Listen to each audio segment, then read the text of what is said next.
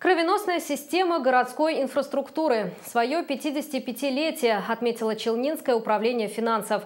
Оно было создано раньше КАМАЗа, в январе 1963 года, и все это время решало финансовые задачи и распределяло денежные потоки при строительстве автогиганта и города. Позже искала выход из кризисной ситуации в 90-х, находит современные решения и сегодня. Посвященная этой дате торжественная встреча прошла накануне в ДК КАМАЗ. Ее посетили представители нескольких поколений, сотрудников различных финансовых организаций. Город крепко стоит на ногах, уверенно смотрит в завтрашний 2018, 2019, 2020 годы.